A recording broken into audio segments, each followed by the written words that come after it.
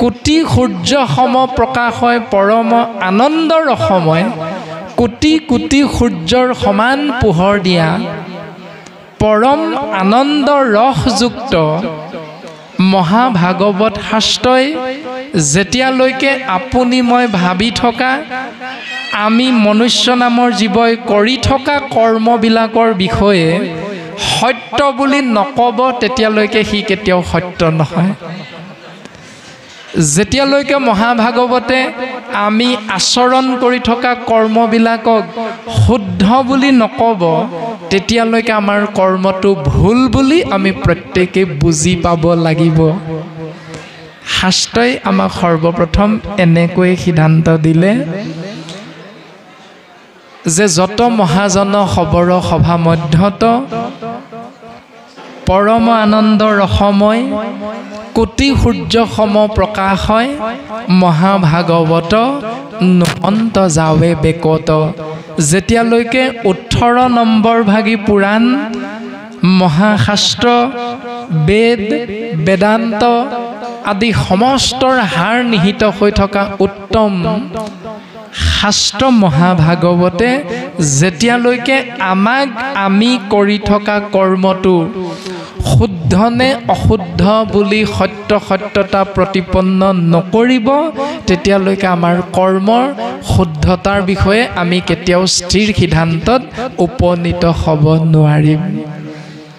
আৰু আজি আমি সমস্ত জনাৰে পৰম সৌভাগ্য। এনেহেন উত্তম শাস্ত্ৰ মহাভাগৱতক আশ্ৰয় কৰিবলৈ সৌভাগ্যৱন্ত হ'লোঁ। সৰ্বপ্ৰথমে আমাক প্ৰকাশ কৰিছে মংগলাচৰণ। সেই জীৱ মংগল যদি বিচাৰিছা তেতিয়াহ'লে যোগ কৰি লোৱা। নিজৰ চিন্তাৰ লগত নিজৰ ভাৱনাৰ লগত নিজৰ আচাৰ আচৰণৰ লগত নিজৰ স্বভাৱৰ লগত গৃহস্থী ধৰ্ম পালন কৰোঁতে নীতি নিয়ম কৰ্মৰ লগত কি? যোগ আচৰণ সমান মংগলাচৰণ।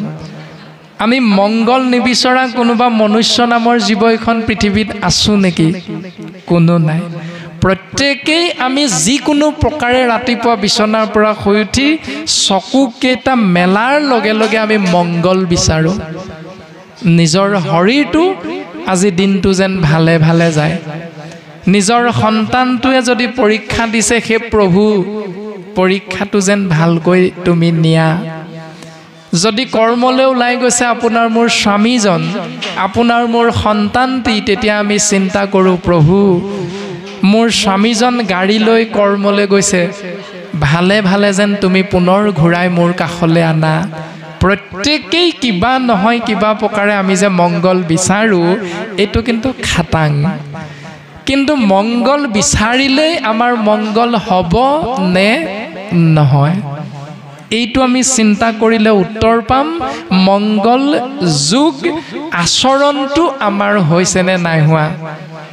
যিধৰণে বিদ্যালয়ত সন্তানটোক নামটো লগাই দিওঁ চিন্তা এটাই সন্তানটো ডাঙৰ মানুহ হওক শিক্ষিত হওক জ্ঞানী হওক ডাক্তৰ ইঞ্জিনিয়াৰ হওক কোনেও নিবিচাৰোঁ আপোনাৰ মোৰ সন্তানটো মহগোৱাল হওক কোনেও নিবিচাৰোঁ আপোনাৰ মোৰ সন্তানটো ধোদৰ পচলা হওক ৰাস্তাই ঘাটে বেকাৰ হৈ ঘূৰি ফুৰক কোনো পিতৃ মাতৃয়ে নিবিচাৰোঁ আমাৰ সন্তানৰ এনে হোৱাটো।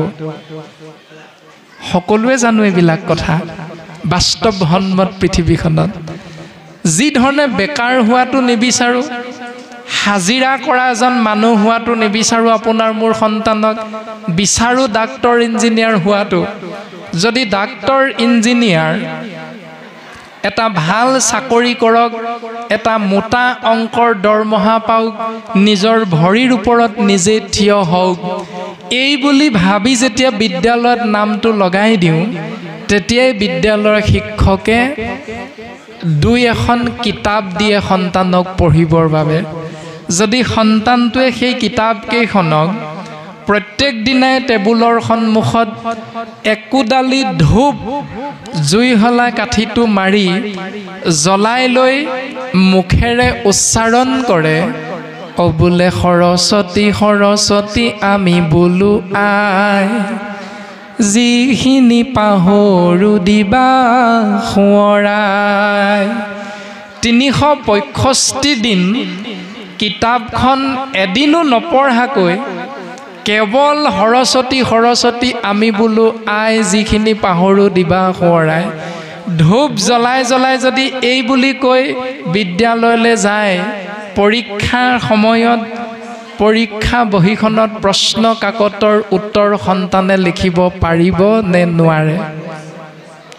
আমি সকলো পিতৃ মাতৃয়ে জানো যে সেই সন্তানে কেতিয়াও ভালকৈ পৰীক্ষাত উত্তীৰ্ণ হ'ব নোৱাৰে। এইটো হ'ল মংগলাচৰণ মংগল বিচাৰিলে আচৰণটো কেনেকৈ কৰিব লাগিব?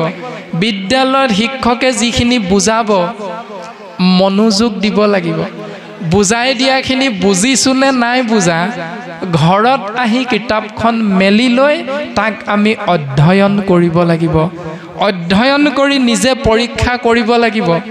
আহিব লগা সম্ভৱ সম্ভাৱনা থকা সেই পাঠটোৰ প্ৰশ্নকেইটি যুগুত কৰি পাঠটো অধ্যয়ন কৰি পাঠ্যপুথি নেমেলাকৈ তাৰ পাছত প্ৰশ্নকেইটিৰ উত্তৰ নিজে লিখিব লাগিব।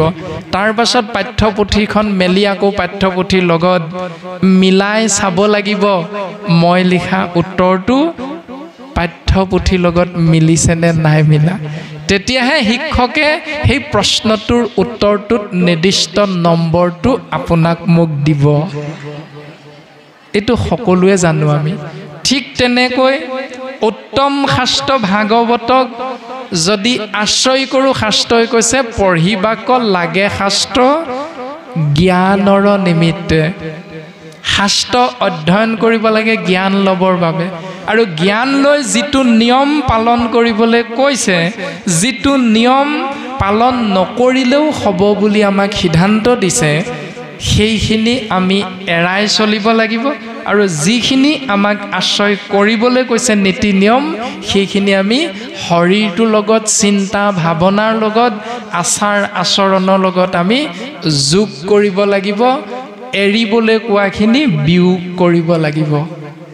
এইটো হ'ল মংগলাচৰণ। আৰু আজি আমি এই মংগলাচৰণৰ চিন্তা যদি কৰি চাওঁ তেতিয়াহ'লে উত্তৰটো পাম সৰ্বপ্ৰথম জয় জয় কৃষ্ণ কৃপাময় মহেশ্বৰ যাৰ আজ্ঞা শিৰে বহে ব্ৰহ্মা হৰিহৰ।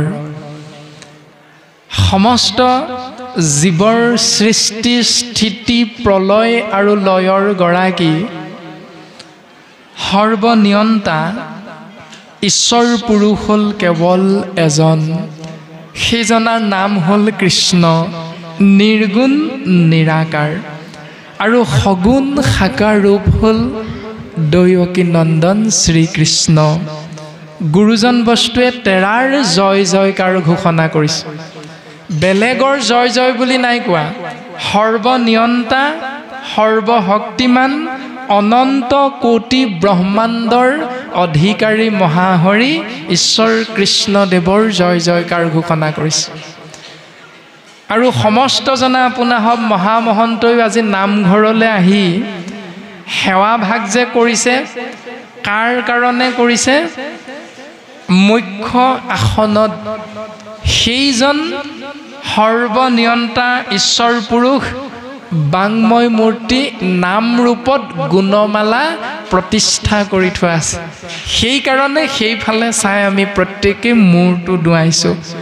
গুণগুণাই হ'লেও মনেৰে ভাবি হ'লেও এজোকা ঘোষা আমি আশ্ৰয় কৰিছোঁ বাটচৰাৰ সন্মুখতে। এইটো শাস্ত্ৰসন্মত সেইজনাই হ'ল সৰ্বনিয়ন্তা ঈশ্বৰ পুৰুষ প্ৰভু ভগৱন্ত কৃষ্ণ। আৰু সেইজনাৰ আজ্ঞা শিৰোগত কৰি সৃষ্টি কাৰ্যত ব্ৰতী হৈ আছে প্ৰজাপতি ব্ৰহ্মা। পালন কাৰ্যত ব্ৰতী হৈ আছে বিষ্ণু। সংহাৰৰ দায়িত্ব পালন কৰি আছে মহাদেৱ শিৱ। এই তিনিওজনে এজন ঈশ্বৰ কৃষ্ণদেৱৰ আজ্ঞা শিৰোগত কৰি সৃষ্টি স্থিতি আৰু পালনৰ দৰে তিনিটি মহান কাৰ্য সুচাৰুৰূপে সম্পাদনা কৰি আছে। আৰু তাৰ পাছত আমি তেওঁৰেই সন্তানস্বৰূপ শ্ৰেষ্ঠতম জীৱ মনুষ্যই কিয় সেই বাক্য সেই নীতি নিৰ্দেশনা পালন কৰিবলৈ মানি চলিবলৈ কিয় টান পাওঁ? এইটো প্ৰত্যেকজন হৰিধাৰী মনুষ্য আমি নিজক সোধাটো অতিব প্ৰয়োজন। কিয়নো ভাগৱত দৰ্শন সমাজকেন্দ্ৰিক নহয়। ভাগৱত দৰ্শন উপাধি বা ব্যক্তিকেন্দ্ৰিক নহয়। কীৰ্তন দশম ঘোষা ৰত্নাৱলী ভাগৱত গীতা চাৰি বেদ চৈধ্য শাস্ত্ৰ সোতৰ পুৰাণ ক'তো একলমো লিখি থোৱা নাই। সত্ৰ সমাজত নামটো লগাই লোৱা জখলাডালত পোনে পোনে বৈকুণ্ঠলৈ তেওঁলোকক লৈ যোৱা হ'ব। শ্ৰীমন্ত শংকৰদেৱ সংঘ নামৰ ভক্তিৰ পঢ়াশালী ভাগত ভকত হিচাপে সংগী হৈ লোৱা বৈকুণ্ঠলৈ পোনে পোনে তোমালোকক লৈ যোৱা হ'ব। বাকীসকলক নিয়া নহ'ব। বামুণীয়া পন্থত সোমাই লোৱা। পোনে পোনে বৈকুণ্ঠলৈ তোমালোককহে নিয়া হ'ব বাকী কাকো নিয়া নহ'ব। ভাগৱতী সমাজত অন্তৰ্ভুক্তি হোৱা। পোনে পোনে তোমালোকক নিয়া হ'ব বাকী সমাজৰ তাৰপাইসকলক নিয়া নহ'ব। এই বুলি ক'তো একলমো লিখি দিয়া নাই। ধুতি পঞ্জাবী পিন্ধি কৃষ্ণ বুলি কোৱা লং পেণ্ট চাৰ্ট বুলি কৃষ্ণ বুলি নকবা। আইসকলে ঋতুমতী হৈ থকা সময়খিনিত কৃষ্ণ বুলি নকবা। অপৰাধ আছে। ক'তো লিখা নাই। বৰঞ্চ সুন্দৰভাৱে ঘোষাশাস্ত্ৰত উল্লেখ কৰিছে হৰি নাম কীৰ্তনত নাহি কাল দেশ পাত্ৰ নিয়ম সংযময়ে কুবিধি হৰিত শৰণ লয়া কেৱল হৰিৰ নাম। কীৰ্তন কৰন্তে হুৱে সিদ্ধি। জীৱই সিদ্ধি লাভ কৰিব পাৰিব কৰ্মত চিন্তাত ভাৱনাত তেতিয়াহে যেতিয়া তেওঁ কেৱল হৰিহৰণীয়া হ'ব। অৰ্থাৎ এক ঈশ্বৰত যিজনে কায় বাক্য মনেৰে সুদৃঢ় বিশ্বাসে শৰণাপন্ন হ'ব সেইজনৰহে কৰ্ম বা চিন্তা ভাৱনা সমস্ততে সিদ্ধি লাভ হ'ব বুলি সিদ্ধান্ত দিছে। দ্বিশৰণীয়া ত্ৰিশৰণীয়া বহুশৰণীয়াত শাস্ত্ৰই সিদ্ধি লাভ কৰিব বুলি ক'তো কোৱা নাই। আপোনাৰ মোৰ সমাজ যিয়ে নহওক এইটো ডাঙৰ কথা নহয় কাৰণ ভাগৱত দৰ্শন সমাজকেন্দ্ৰিক নহয়। যদি মংগল বিচাৰোঁ তেতিয়াহ'লে শাস্ত্ৰসন্মত আচাৰ আচৰণ নীতি নিয়ম আশ্ৰয় কৰিছোঁ নে নাই এইটো বিশ্লেষণ কৰাটো প্ৰত্যেকৰে নিজৰ নিজৰ। দ্বিতীয়তে সিদ্ধান্ত দিছে ভাগৱত দৰ্শন ব্যক্তিকেন্দ্ৰিক নহয়। ব্ৰাহ্মণ ক্ষত্ৰিয় বৈশ্য শূদ্ৰ এই চতুবৰ্ণৰ অন্তৰ্ভুক্তি আমি মনুষ্য নামৰ জীৱবিলাকৰ উপাধিবিলাক মহন্ত গোস্বামী শৰ্মা দেৱী দত্ত কলিতা শইকীয়া কোচ কেওট বৰা বৰবৰা বৰুৱা বৰবৰুৱা গোহাঁই গগৈ বুঢ়া গোহাঁই বৰগোহাঁই ডেকা পাঠক উপাধি এই শৰীৰটোৰ যিয়ে নহওক এটাই সিদ্ধান্ত সেই জীৱ। নাম ল'লে তৰিবা নল'লে মৰিবা। চিন্তা আমাৰ প্ৰত্যেকৰে নিজৰ নিজৰ। নাম আশ্ৰয় কৰি তৰি যাব বিচাৰোঁ নে নাম আশ্ৰয় নকৰি অধোগতি যাব বিচাৰোঁ? কাৰণ ভাগৱত দৰ্শন কেতিয়াও ব্যক্তিকেন্দ্ৰিক নহয়। ক'তো কোৱা নাই মহন্ত গোস্বামী শৰ্মা দেৱী উপাধিধাৰী বাপ আইসকলেহে কৃষ্ণ নাম লৈ তৰি যাব। বাকীসকল নোৱাৰে। এই বুলি ক'তো কোৱা নাই। সৰ্বপ্ৰথম আমাক এনেধৰণে সিদ্ধান্তটো দিলে মৎস্য কুৰ্ম আদি অংশ অৱতাৰ যাৰ ঈশ্বৰ কৃষ্ণক কোটি কোটি নমস্কাৰ। মৎস্যৰূপে অৱতাৰ ভৈলা প্ৰথমত। কীৰ্তন গ্ৰন্থত চতুবিংশতি অৱতাৰ প্ৰথমতে শংকৰ গুৰুজনাই দৰ্শন দিছে। ভগৱন্ত পুৰুষেও মৎস্যৰূপে অৱতাৰ ধাৰণ কৰিছে। সত্যব্ৰত ৰাজাক প্ৰলয়ৰ সময়ত সুন্দৰভাৱে পথ নিৰ্দেশনা কৰিছে। চাৰি বেদ উদ্ধাৰ কৰিছে। আদি আদি লীলা ভগৱন্ত পুৰুষে মৎস্যৰূপে অৱতাৰ ধাৰণ কৰি জীৱৰ কল্যাণ সাধন কৰিছে। কুৰ্মৰূপে অৱতাৰ ধাৰণ কৰি মন্দৰ পৰ্বতক পিঠি পাতি ধৰি দেৱাসুৰৰ দ্বাৰা সাগৰ মন্থন কৰোৱাই অমৃত উৎপন্ন কৰি অসুৰৰ বিপৰীতে দেৱতাসকলক অমৃত পাণ কৰোৱাই অমৰ কৰোৱাৰ এটা ব্যৱস্থা লীলা ভগৱন্ত পুৰুষেই কৰিলে। ইয়াত পদে আমাক প্ৰকাশ কৰিলে সেই মৎস্য কুৰ্ম আদি অংশবিলাক অৱতাৰ স্বৰূপে ধাৰণ কৰিছে কোনে? ঈশ্বৰ কৃষ্ণদেৱে। আৰু সেইজনাৰ চৰণ কমলত ঈশ্বৰ কৃষ্ণক কোটি কোটি নমস্কাৰ বুলি কৈছে। কোনে জনাইছে? আমি সমস্ত জনাৰে গুৰুৰো গুৰু জগতগুৰু পৰম গুৰু শ্ৰীমন্ত শংকৰদেৱ গুৰুজনাই আমি কোন সেইজনা গুৰুৰে প্ৰপন্ন শিষ্য। যদি গুৰুজনাই সেই অৱতাৰবিলাক ধাৰণ কৰা সৰ্বশক্তিমান ঈশ্বৰ কৃষ্ণদেৱৰ চৰণ কমলত কোটি কোটিবাৰ সেৱা জনাইছে আমি তেতিয়াহ'লে দিনটোত কেইবাৰ সেৱা জনাওঁ? এইটো চিন্তা কৰাটো আমাৰ প্ৰত্যেকৰে দায়িত্ব কৰ্তব্য। এইটো চিন্তা কৰাটো আমাৰ প্ৰত্যেকৰে অতীৱ প্ৰয়োজন। তেতিয়াহে আমাৰ মংগল হ'ব নে নহয় আমি এটা ধাৰণা কৰিব পাৰিম। আমি সেৱা কৰাটো দূৰৰে কথা। সেই সেই প্ৰাণীবিলাকক হত্যা নকৰাকৈ হিংসা নকৰাকৈ এসাঁজ সিদ্ধও হয়তো আমি খাবলৈ অপাৰগ হৈ যাওঁ। যিবিলাক জীৱ হিচাপে ভগৱন্ত পুৰুষেই অৱতাৰ ধাৰণ কৰিছে।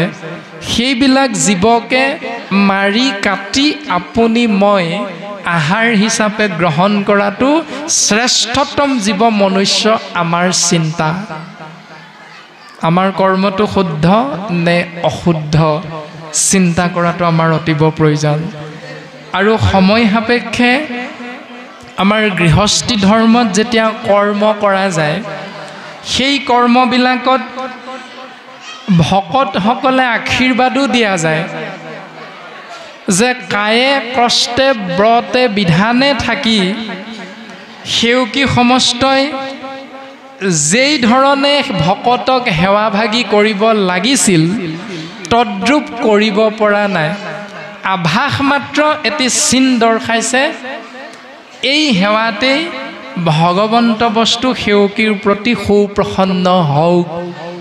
সমস্ত জনা ভকতে অ' হৰি অ' ৰাম। জয় ৰাম বোলা জয় হৰি বোলা। হৰি সন্তোষৰ্থে হৰি বোলা। আদি আদি ধৰণে মুখ পদ্মখন্তে ভগৱন্তৰ চৰণত সেৱা নিবেদন কৰে। যদি কাই কষ্টে ব্ৰতে বিধানে আছেই সেৱকীসকল তেতিয়াহ'লে সেই একাদশ দিৱসৰ অনুষ্ঠান ভাগিত ভকতে কিয় মৎস্য গ্ৰহণ কৰে? কাই কষ্টে ব্ৰতে থাকি মৎস্য খাবৰ বাবে ভকতে আশীৰ্বাদ দিয়াটো শাস্ত্ৰসন্মত হয় নেকি? এইটো চিন্তা কৰাটো আমাৰ প্ৰত্যেকৰে দায়িত্ব কৰ্তব্য। কাৰণ মৎস্য কুৰ্ম আদি অংশ অৱতাৰ যাৰ যিজনে অৱতাৰ ধাৰণ কৰিছে সেইজনাৰ চৰণতে আমি সেৱা নিবেদন কৰি আছোঁ। প্ৰভু তুমি কৃপা কৰা। তেওঁ কৃপা কৰিবনে নকৰে চিন্তা আমি কৰিলেই সমস্ত জনাই বুজি পাম। নমো নমো মধু মূৰ ৰিপু মহাহৰি অন্ত্যজু উত্তম আতি হৈ জাকচ মৰি। নমো নমো মানে নমস্কাৰ জনোৱা হৈছে সেৱা নিবেদন কৰা হৈছে। মধু নামৰ এজন দৈত্যক নিধন কৰাৰ বাবে ভগৱন্তৰ অনন্ত কোটি নামৰ এক নাম হ'ল মধুসূদন আমাৰ ভকতে মুখপদ্মখনতে উচ্চাৰণ কৰি মধুসূদন দেও মধুসূদন দেও আদি বুলি কৈ ভকতে আমাৰ নামো উচ্চাৰণ কৰে এনেধৰণে।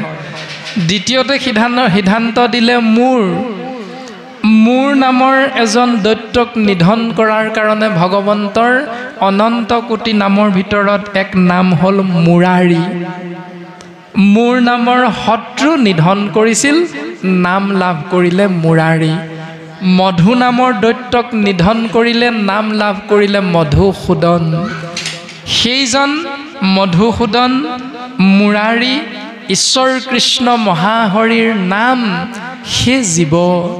তোমৰাভাৱে যদি আশ্ৰয় কৰা তেতিয়াহ'লে ব্ৰাহ্মণ সম্প্ৰদায়ৰ বুলি কোনো কথা নাই অন্ত্যজু উত্তম আতি হৈ জাকচ মৰি চান্দাল হ'লেও সমাজৰ নিকৃষ্টৰো নিকৃষ্টতম জীৱয়ো সেই ঈশ্বৰ পুৰুষৰ নাম শ্ৰৱণ আৰু কীৰ্তন মহাভক্তি আশ্ৰয় কৰিলে তৰি যাব পাৰিব এয়া শাস্ত্ৰৰ স্থিৰ সিদ্ধান্ত। তেনে ক্ষেত্ৰত আমি সমাজত নিম্ন সম্প্ৰদায়ৰ বুলি বৈশ্য বা ক্ষুদ্ৰ সম্প্ৰদায়ৰ বুলি তেওঁলোকক ভকতৰ সংগত সংগ নিদি ঈশ্বৰৰ নাম আশ্ৰয় কৰিব নোৱাৰিব বুলি বাধা দিয়াটো শাস্ত্ৰসন্মতে সেইসকলৰ অপৰাধ বুলি শাস্ত্ৰই আমাক দ্বিতীয়তে এটি সিদ্ধান্ত দিলে। সমস্তে জগত উদ্ধাৰক যাৰ নাম সেনয় কৃষ্ণক কৰোঁ সহস্ৰ প্ৰণাম। সেইজন ঈশ্বৰ প্ৰভু ভগৱন্ত কৃষ্ণদেৱৰ নামত সমস্ত জীৱৰ অধিকাৰ আছে বুলি কৈছে। সমস্ত জগত জগত মানে বৰ্গীয় জ মানে জন্ম। গ মানে গতি। দন্তীয় ত মানে তৎক্ষণাত অৰ্থাৎ সৃষ্টি হোৱা জীৱৰ ধ্বংস অনিবাৰ্য। জন্ম হোৱা যেতিয়া জীৱ মৃত্যু নিশ্চিত। যি জীৱই নহওক উৰণ বুৰণ গজন ভ্ৰমণ। শাস্ত্ৰই কৈছে চেদজ অন্দজ উদ্ভিদজ আৰু জৰায়ুজ। এই চাৰিমুঠি জীৱ সমস্ত উদ্ধাৰক যাৰ নাম সমস্তই উদ্ধাৰ হৈ যাব পাৰিব যিজনা ঈশ্বৰ কৃষ্ণৰ নাম আশ্ৰয় কৰিলে। সেইজন মহাহৰি ঈশ্বৰ কৃষ্ণদেৱৰ চৰণ কমলত কৃপালু শ্ৰীমন্ত শংকৰদেৱ গুৰুজনাই হাজাৰ হাজাৰ বাৰ সেৱা নিবেদন কৰিছে। আৰু আমি চৌবিছ ঘণ্টীয়া এটা দিনত কেইবাৰ সেইজনক সেৱা কৰোঁ। চিন্তা আপোনাৰ মোৰ নিজৰ নিজৰ। সেইজনাক সেৱা কৰিবলৈ আমাৰ গৃহৰ মধ্যে গুৰু গৃহ আছেনে নাই? তাৰো সন্দেহ আছে। যাক আমি প্ৰতিষ্ঠা কৰি লোৱা নাই ভগৱন্তক প্ৰতিষ্ঠা কৰি তেওঁক দিনে ৰাতিয়ে চিন্তা কৰিবৰ বাবে আপুনি মই চিন্তা কৰিছোঁনে নাই কৰা এইটো ভাবিলেই আমি প্ৰত্যেকে উত্তৰটো পাই যাম। প্ৰভু ভগৱন্ত ভকতৰ নৱনিধি হৰিক স্মৰণে আৰম্ভৰ শৌক সিদ্ধি। ভগৱন্ত এজন মহাভকতৰ বাবে ন আনন্দৰ গৰাকী ন ভাগী ঐশ্বৰ্যৰ গৰাকী নৱনিধি বুলি সিদ্ধান্ত দিছে। আৰু সেইজনা ঈশ্বৰ কৃষ্ণৰ নাম আশ্ৰয় কৰিলেহে জীৱৰ কৰ্ম সম্ফল হ'ব বুলি সিদ্ধান্ত দিছে। যদি সেইজনা নাম আশ্ৰয় নকৰোঁ তেতিয়াহ'লে কোনো কাৰ্যতে জীৱই কৃতকাৰ্যতা লাভ কৰিব নোৱাৰে। আৰু এনেহেন ঈশ্বৰ কৃষ্ণ প্ৰভু ভগৱন্তৰ নাম কোনে আশ্ৰয় কৰি আমাক উপদেশটো দৰ্শন কৰাইছে? পৰীক্ষিত নামৰ এজন ৰজা। পৰীক্ষিত মুখ্য কথা দ্বাদশ স্কন্ধৰ কৃষ্ণৰ চৰণে ভনে কিংকৰ কৃষ্ণৰ। পৰীক্ষিত ৰাজাই মুখ্য প্ৰাপ্তি লাভ কৰিব পৰা দ্বাদশ স্কন্ধ যুক্ত মহাভাগৱত শাস্ত্ৰ মহামানী শুকগুৰুৱে প্ৰকাশ কৰি আছে আৰু শুকগুৰুৰ কৃপাৰ বশত লাভ কৰা সেই ভাগৱত তত্ত্ব প্ৰথম স্কন্ধৰ পৰা দ্বাদশ পৰ্যন্তে কহিলা ৰাজাত মহামুনীন্দ্ৰ মহন্তে সংক্ষেপ কৰিয়া উদ্ধাৰিয়া তাৰ হাৰ শংকৰে ৰচিলা কৃষ্ণ চৰিত্ৰ পয়াৰ। কৃপালু শ্ৰীমন্ত শংকৰদেৱ গুৰুজনাই আমাক কৃপা কৰি পদচন্দ ছবিচন্দ দুলৰিচন্দ লেচাৰীচন্দ জোনাচন্দ আদি সমস্ততে কৃপা কৰি দিলে মহামানী বেদব্যাসে সংস্কৃতত প্ৰণয়ন কৰা সেই মহাভাগৱত সাৰ তত্ত্ব উদ্ধাৰ কৰি অসমীয়াতে সুন্দৰভাৱে আমাক বুজিব পৰাকৈ গুৰুজন বস্তুৱে কৃপা কৰি অসমীয়া জাতিক গৌৰৱান্বিত কৰি থৈ গ'ল। অসমীয়া ভাষাটো ধৰ্মীয় ভাষা হিচাপে স্বীকৃতি দি থৈ গৈছে। ইমান কৃপা কৰি থৈ গৈছে শ্ৰীমন্ত শংকৰদেৱ গুৰুজনাই।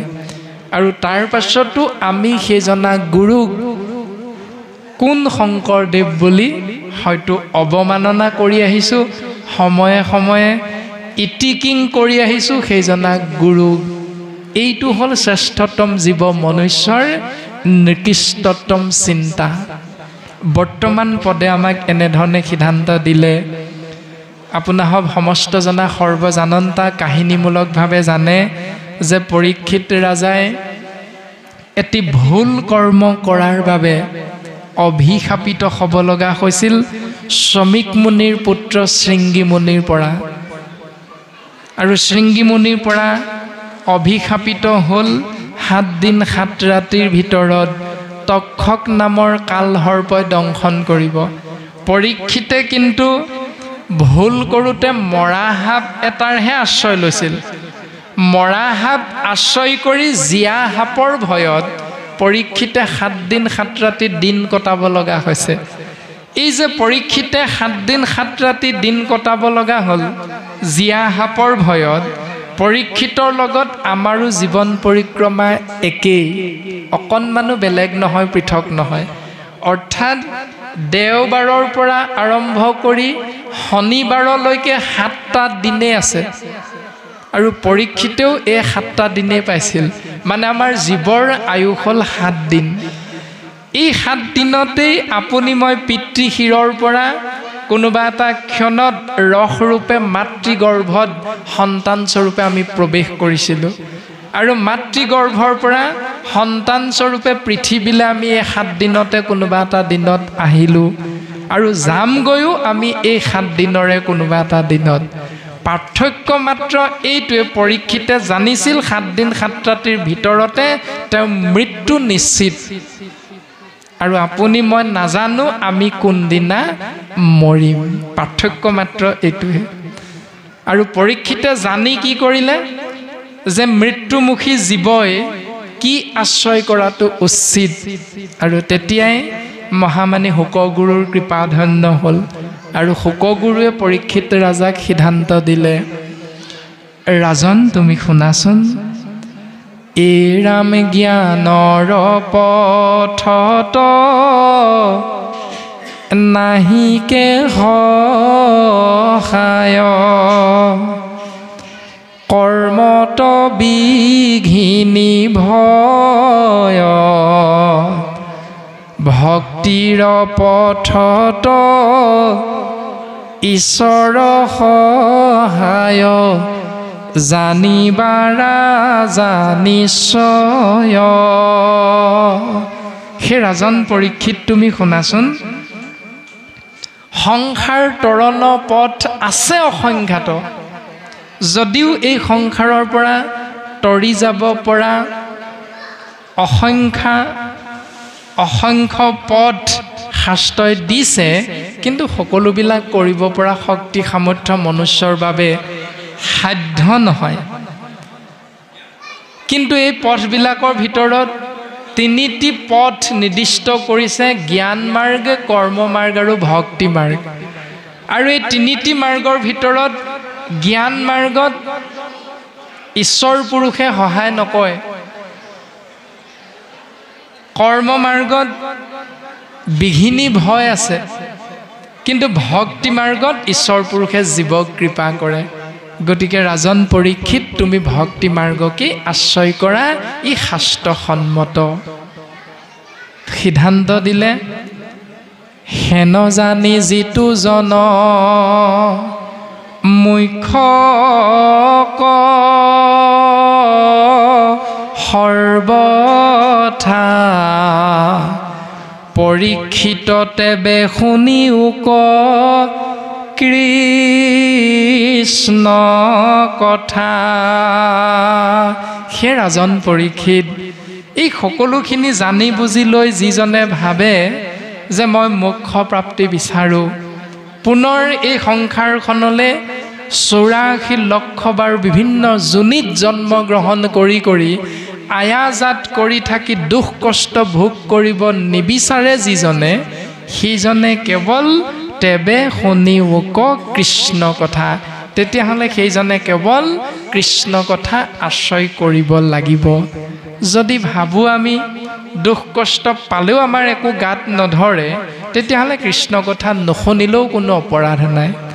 অৰ্থাৎ ভাগৱতে কোনো জীৱক বাধ্য কৰোৱা নাই যে কৃষ্ণ কথা শুনিবই লাগিব। কিন্তু মনত ৰাখিবা ৰাজন হেন জানি যাৰ আছে মুখ্যক সৰ্বথা। কিন্তু যিজনে মুখ্য প্ৰাপ্তি বিচাৰে চিন্তা কৰে সেইজনে কিন্তু কৃষ্ণ কথা শুনিবই লাগিব। কাৰণ কৃষ্ণ কথাৰ বিপৰীত চিন্তাবিলাকত জীৱই কেতিয়াও মুখ্য প্ৰাপ্তি লাভ কৰিব নোৱাৰে। সুন্দৰভাৱে সিদ্ধান্ত দিলে। আমাক পদে এনেধৰণে মংগলাচৰণৰ বিষয়বস্তু আশ্ৰয় কৰি ত্ৰিকালদৰ্শী বেদশাস্ত্ৰত পাৰ্গত ঋষি মুনিসকলৰ মাজত এজন ঋষিৰ মুখেৰে নিজৰ কৰ্ম ব্যৱস্থাৰ বিষয়ে আমাক জ্ঞাত কৰাইছে। জানিবলৈ দিছে এনেধৰণে এৰামাথাইছ সহস্ৰ ঋষি বেদত প্ৰধান। বিষ্ণুৰ নৈমিষ ক্ষেত্ৰ মহাপুণ্য স্থান মান্য কৰি সুতক পাতিলা সত্ৰ তথা। সৌনক প্ৰমুখ্যে শুনে ভাগৱত কথা।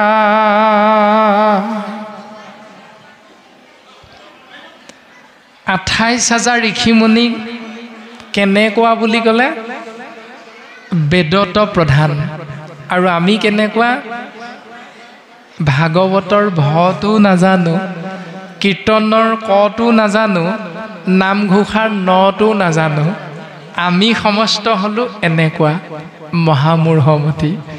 আৰু শাস্ত্ৰই কৈছে আঠাইছ হাজাৰ ঋষিমুনি বেদশাস্ত্ৰত প্ৰধান মানে প্ৰিন্সিপাল প্ৰধান শিক্ষক বিষয় শিক্ষক এজনো নহয় প্ৰত্যেকজনে বেদত আচাৰ্য বুলি কৈছে।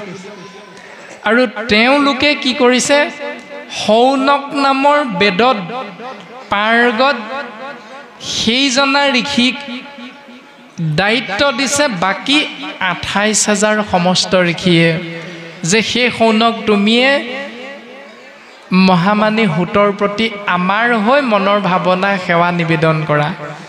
আৰু সেই সৌনক নামৰ ঋষিজনে কৈছে মান্যতা প্ৰদান কৰি মহামানী উগ্ৰশ্ৰৱা সুতক বিষ্ণুৰ নৈমিষ ক্ষেত্ৰত আসনাধিষ্ঠ কৰোৱাই গুৰুৰ আসনত উপবিষ্ট কৰোৱাই মনৰ ভাৱনা আঠাইছ হাজাৰ ঋষিৰ হৈ প্ৰকাশ কৰিছে। সৌনক বদতি শুনা সুত মহামানী পৰম পাতকী কলি পাইলে সেন জানি। সেই মহামানী উগ্ৰশ্ৰৱা সুত তুমি শুনাচোন ইতিমধ্যে ভগৱন্ত ঈশ্বৰ কৃষ্ণদেৱ এই ধৰাধাম এৰি গুচি গ'ল। আৰু পৰীক্ষিত ৰাজায়ো কৃষ্ণ নাম শুনি সংসাৰ এৰি গুচি গ'ল। কলিযুগ যে হৈ আছে আমি ইতিমধ্যে বুজিব পাৰিছোঁ। কিন্তু এই কলিযুগ আৰম্ভ হ'ল যদিও আমি কি কৰি আছিলোঁ জানানে মহামানী সুত?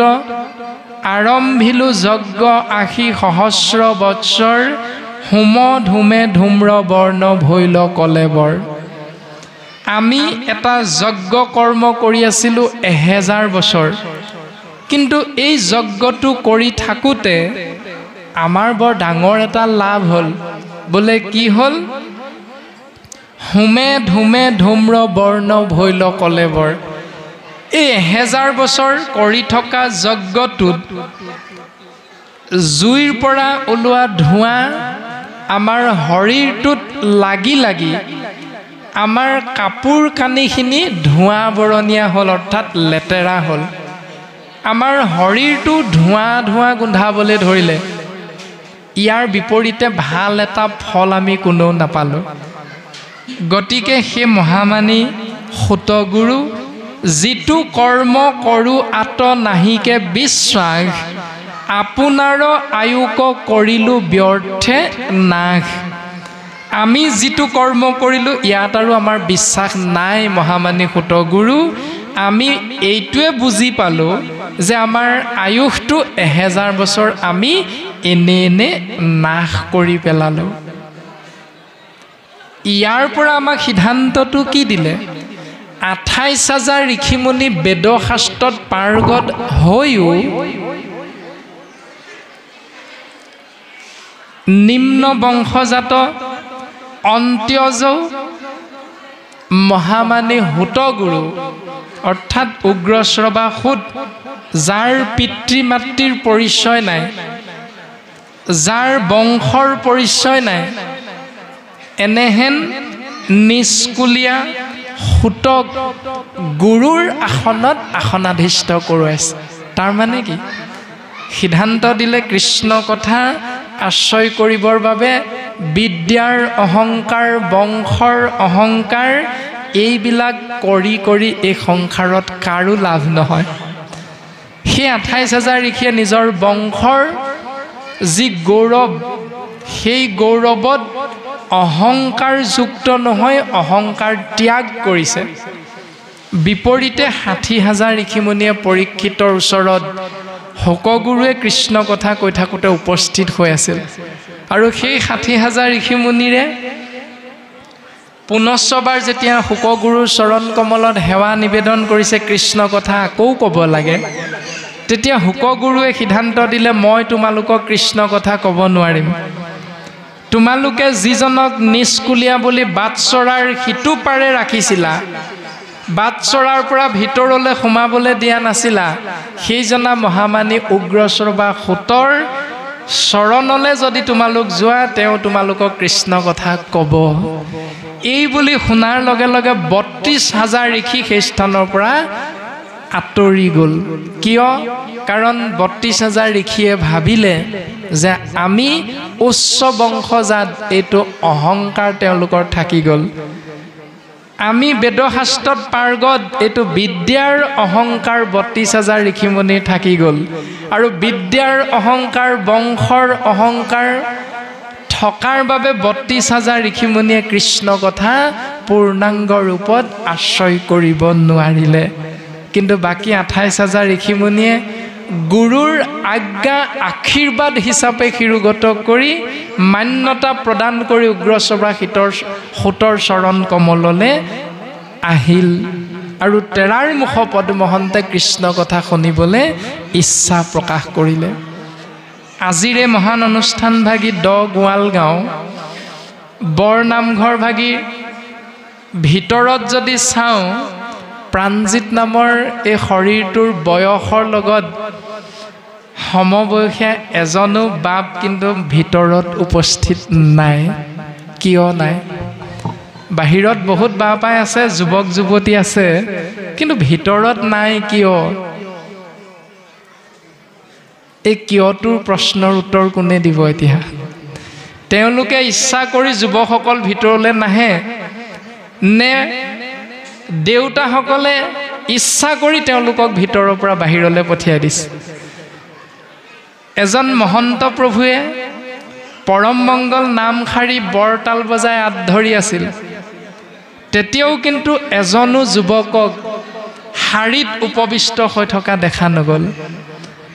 তেতিয়া কিন্তু এগৰাকী আইকো সেইসকল বাপৰ সমানে সমানে আসন গ্ৰহণ কৰি হাত চাপৰি বজাই বজাই নামত অংশগ্ৰহণ কৰা দেখা নগ'ল। যদি আমি মংগল বিচাৰোঁ নামেই যদি আশ্ৰয় নকৰোঁ নাম আশ্ৰয় কৰিব বিচৰাসকলকো যদি দূৰলৈ পঠিয়াই দিওঁ শাস্ত্ৰই কিন্তু দুই ধৰণে অপৰাধ বুলিয়ে কৈছে। সিদ্ধান্ত দিছে ভকতিৰ বীজ শৰণে সে নিজ। প্ৰেমানন্দ তাৰ ফল। শৰণ বিনাই ভকতি কৰয়। এৱা ঘতৰ যেন জল।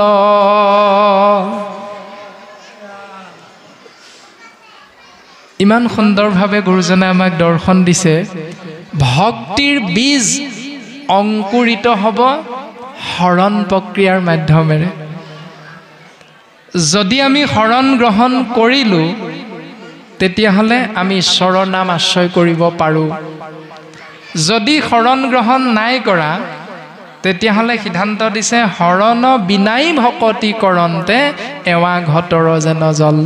শৰণ গ্ৰহণ নকৰাকৈ ভক্তি কৰাটো এৱা ঘটত গাখীৰ আৰু জল ভৰাই থাকিলে যেনেকৈ ঘটটোৱে ৰাখিব নোৱাৰে তেনেকৈ শৰণ গ্ৰহণ নকৰাকৈ ভক্তি কৰিবলৈ গ'লে সেই বাপ বা আইগৰাকীৰো অৱস্থাটো তেনেকুৱা বুলি কৈছে।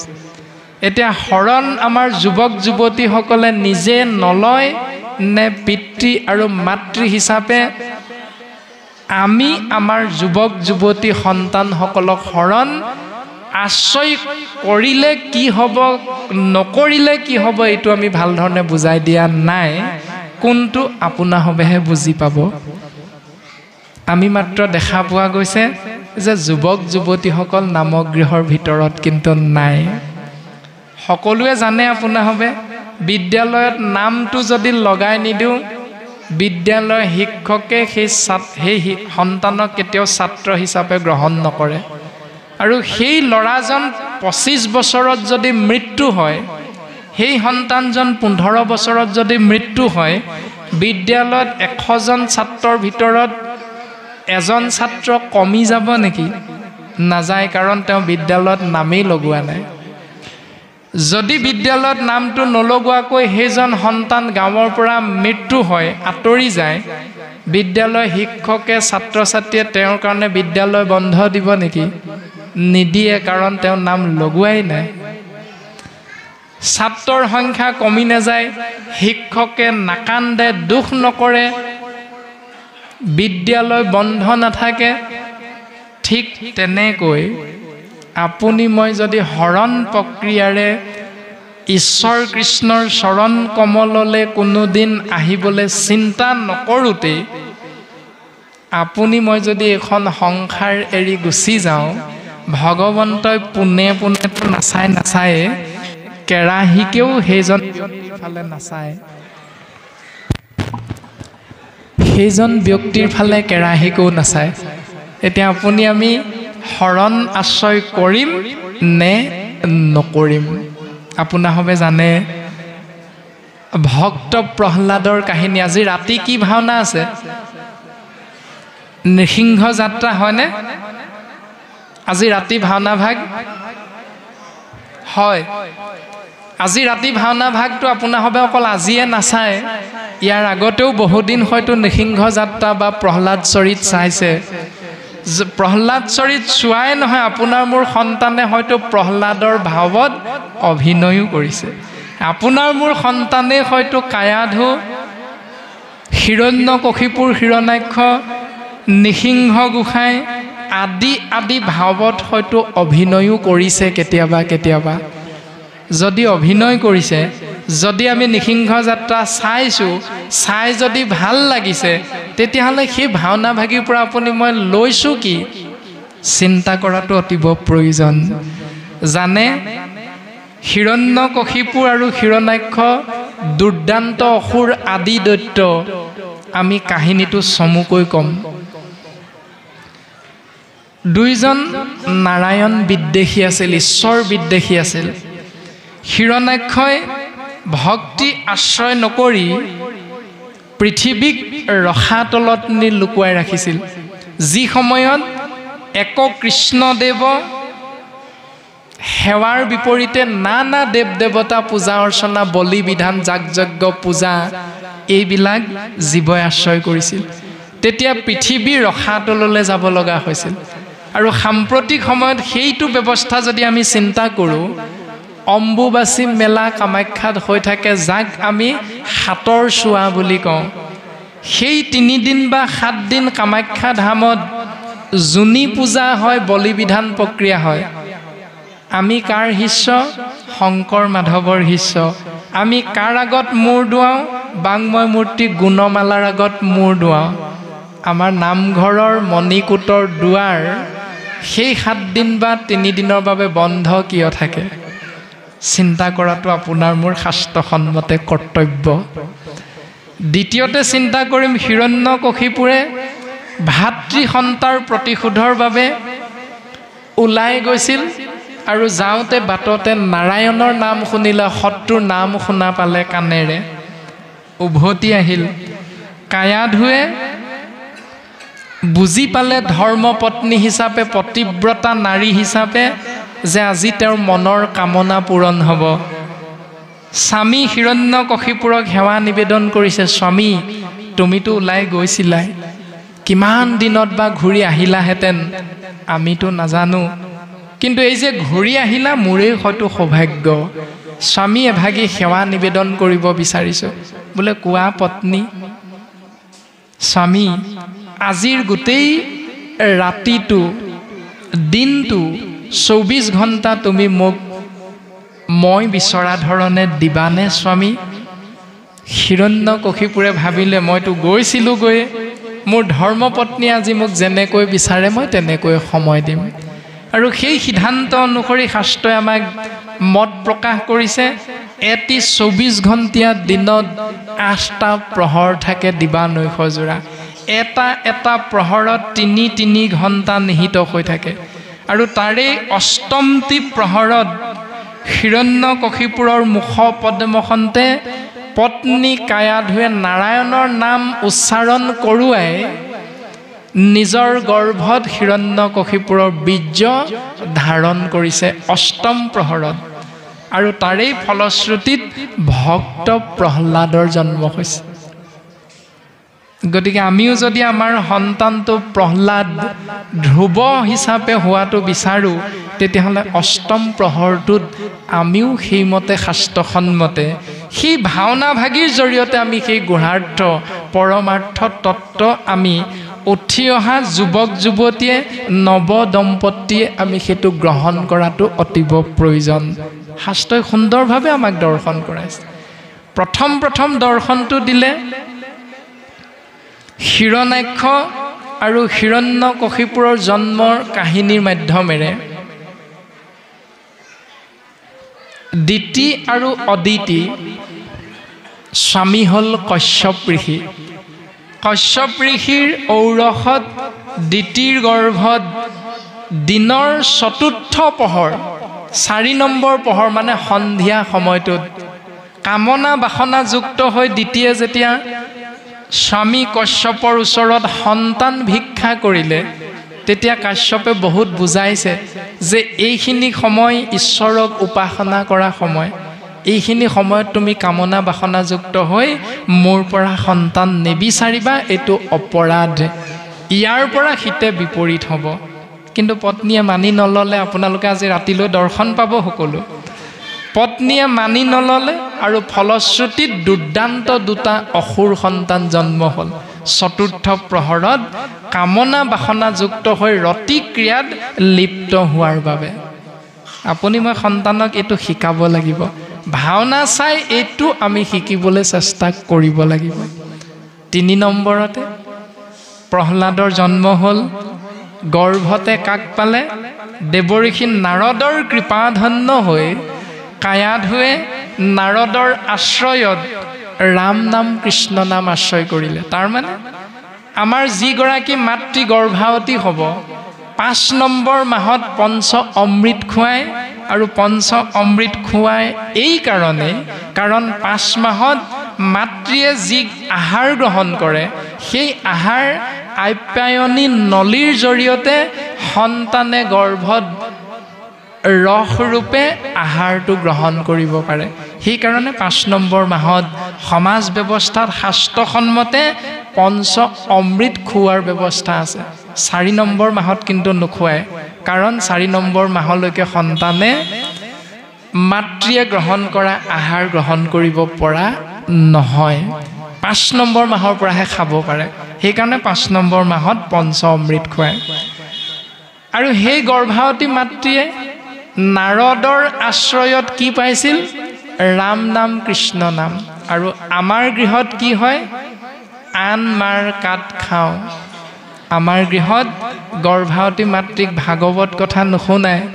আমাৰ গৃহত কীৰ্তন ঘোষা পদ মাতি মাতি শহুৰ দেউতাই শাহুৱাই এইবিলাক নুশুনাই। গতিকে আপোনাৰ মোৰ সন্তান প্ৰহ্লাদ হ'ব নে দৈত্য হ'ব আপুনি মই নিজেই বুজি পাম। এইবিলাক আজি ৰাতিলৈ আপোনাৰ হবে ভাওনাত দৰ্শন পাই যাব। হিৰণ্য কশিপুৱে সন্তানক শিক্ষা দীক্ষাৰে শিক্ষিত কৰি জ্ঞানী কৰি ভৱিষ্যত উত্তৰাধিকাৰী ৰাজপাতত বহুৱাবৰ চিন্তা কৰি শুক্ৰাচাৰ্য গুৰুৰ চৰণলৈ পঠিয়াই দিছে। মানে বিদ্যালয়ত নাম লগাই দিছে।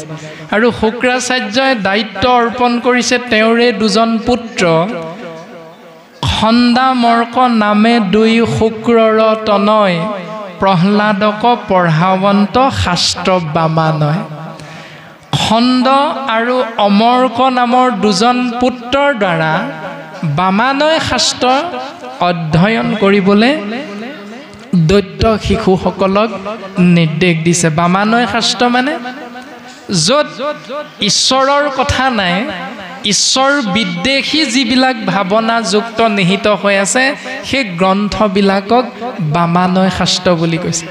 এতিয়া সন্তান গৰ্ভৰ পৰা অহাৰ পাছত যিসকল পিতৃ মাতৃয়ে সন্তানৰ মাতটো ফুটো নুফুটোতেই কৃষ্ণ বুলি ক'বলৈ নিশিকায় সেই বেয়া মাতটো মাতিলে শুনি যে খুব ভাল লাগে।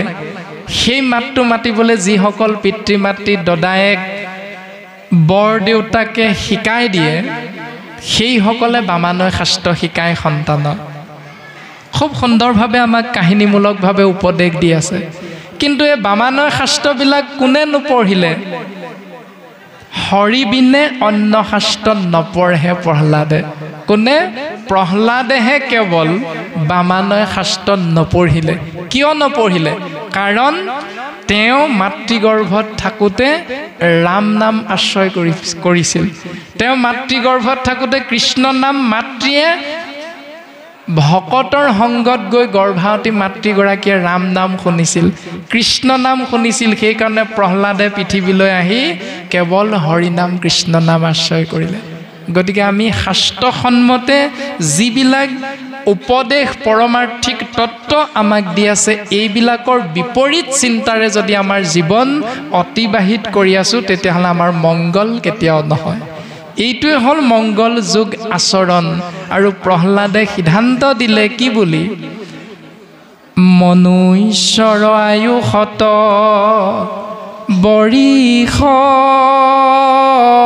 সংখ্যাত অৰ্ধেক বিফলে যায় জানিবা নিদ্ৰাত।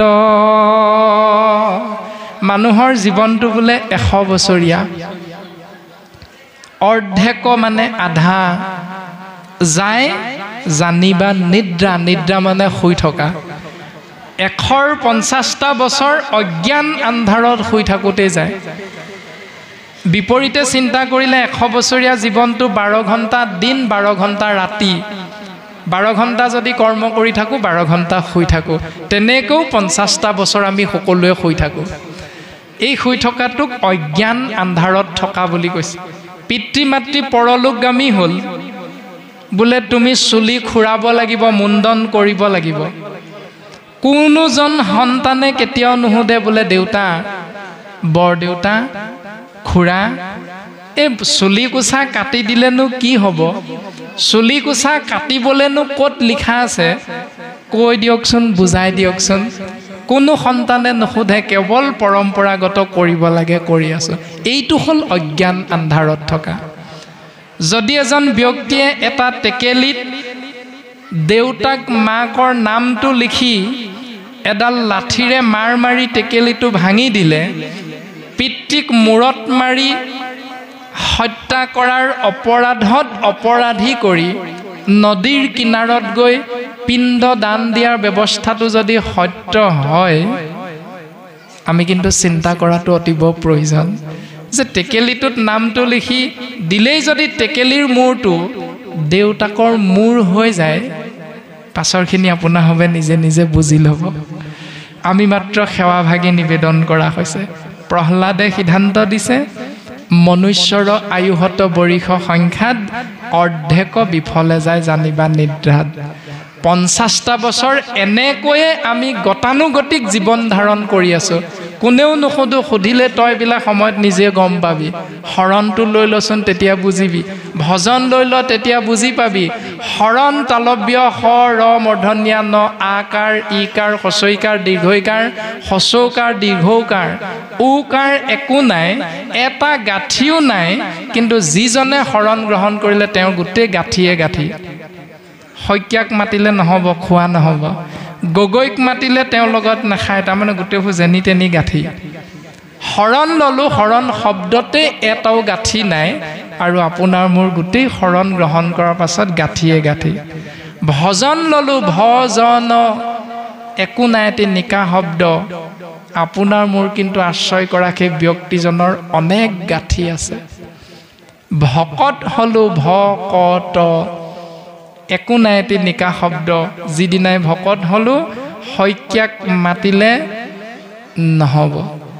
দত্তক মাতিছা নি বোলে হয় নাই তেওঁৰ লগত মোৰ নহ'ব তেওঁক মাতিছা যদি আমি কৃষ্ণহে বুলিছোঁ। এইবিলাক আমাৰ ভকতৰ আচাৰ আচৰণ স্বভাৱ চৰিত্ৰ। যি শব্দত গাঁঠি নাই তাক আশ্ৰয় কৰিলে ভকতৰ কিয় গাঁঠি লাগে?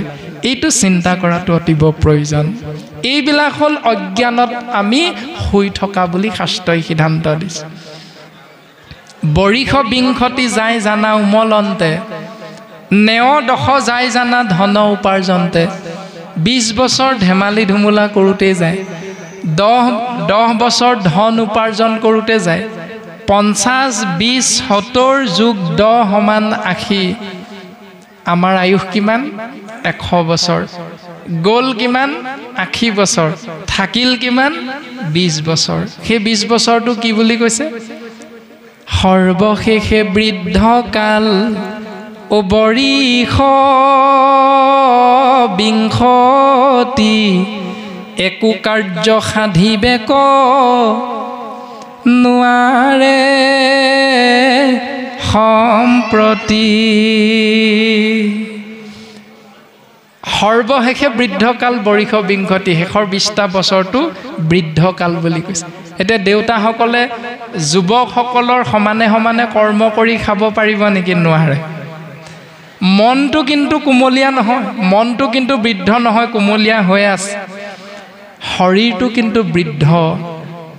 এতিয়া সৰ্বশেষে বৃদ্ধকাল বৰিষ বিংশতি একো কাৰ্য সাধিবেক নাহিকে শকতি। একো কৰ্ম ভালদৰে কৰিবৰ বাবে শৰীৰটোত শক্তি নাইকিয়া হয়। শৰণ কেতিয়া ল'ম এতিয়া? আমাকতো এবাৰো নক'লে এশ বছৰীয়া জীৱনটোত বিছ বছৰত শৰণ ল'বা চল্লিছ বছৰত ভজন ল'বা কাণেৰে যেতিয়া নুশুনিবা মুখেৰে যেতিয়া কথা ক'ব নোৱাৰিবা চকুৰে যেতিয়া আখৰকেইটা নমনিবা সত্তৰ বছৰমান যেতিয়া হ'ব তেতিয়া ভজন ল'বলৈ যাবা এই বুলি ক'লে নি নাই কোৱা? তেতিয়া তুমি শৰণ ল'বা এই বুলি ক'লে নি নাই কোৱা। ইমান সুন্দৰ দৰ্শন। পাঁচ বছৰতে শিশু প্ৰহ্লাদে আমাক জ্ঞান দিছে জীৱক। অহেন জানি শিশু হব।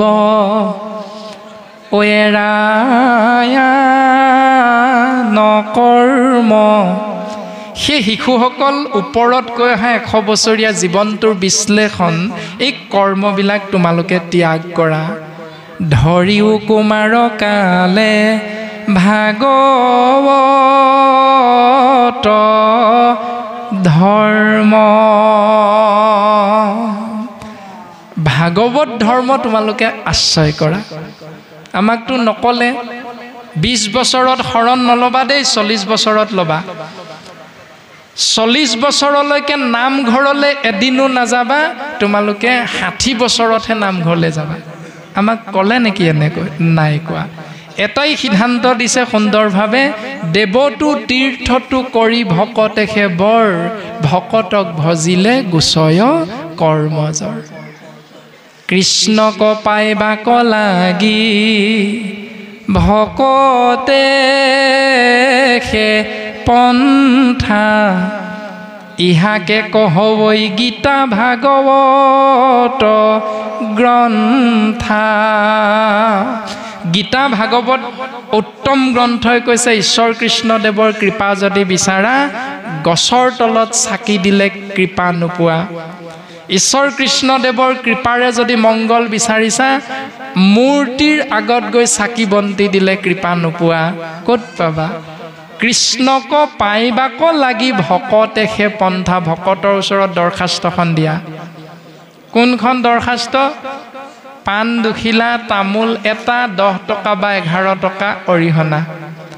কোনখন দৰখাস্ত? ধূপৰ পেকেট এটা জুইশলা এটা মিঠাতেলৰ সৰু পেকেট এটা মাটিৰ এগচি চাকি এডাল শলিতা এই যে দৰখাস্তবিলাক গছৰ তলত মূৰ্তিৰ আগত দিলে ঈশ্বৰৰ কৃপা পাম বুলি উত্তম শাস্ত্ৰ গীতা ভাগৱতে ক'তো কোৱা নাই নাই নাই।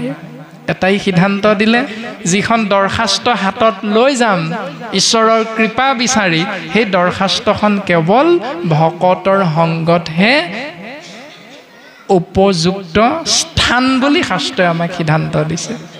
গতিকে হেন জানি শিশু হ'ব এৰা আন কৰ্ম ধৰিও কুমাৰ কালে ভাগৱত ধৰ্ম।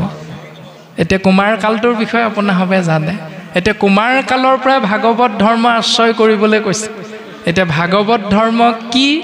আমি যদি চিন্তা কৰোঁ উত্তৰটো পাম। সৰ্বপ্ৰথম নিমি ৰজাই জানিব বিচাৰিছে নজন পৰম বৈষ্ণৱৰ পৰা।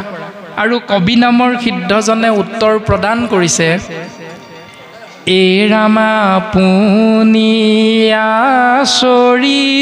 ধৰ্ম আনকো শিকাই সেহি ভাগৱত ধৰ্ম জানানি মিৰাই।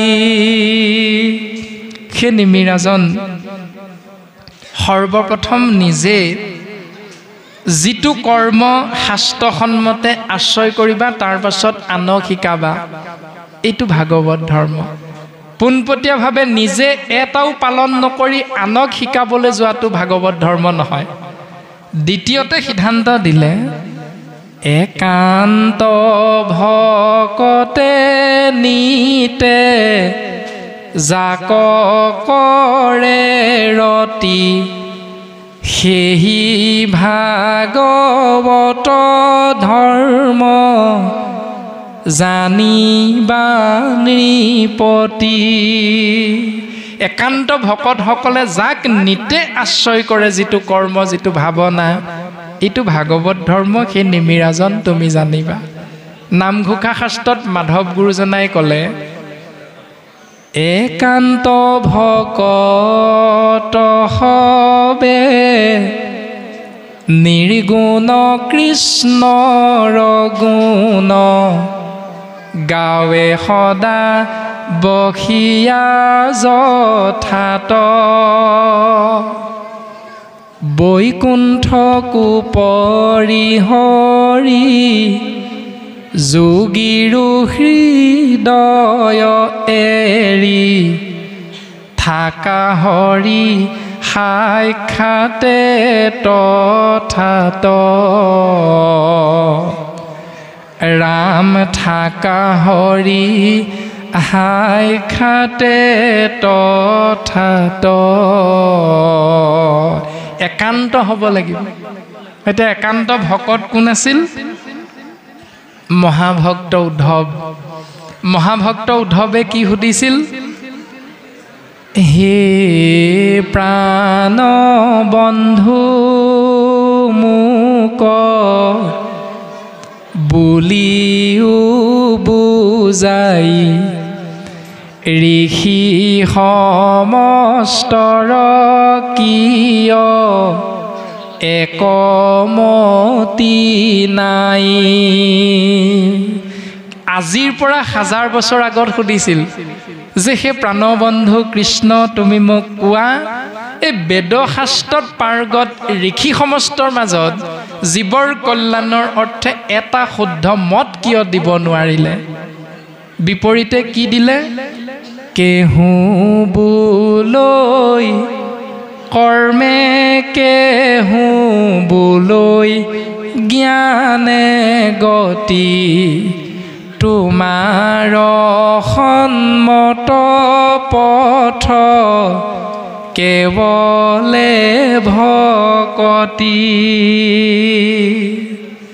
কোনো কোনো ঋষিমুনিয়ে ক'লে কৰ্ম মাৰ্গত জীৱৰ গতি কোনো কোনো ঋষিমুনিয়ে ক'লে জ্ঞান মাৰ্গত জীৱৰ গতি হে প্ৰভু তুমি কৈছা ভক্তি মাৰ্গতহে জীৱৰ গতি।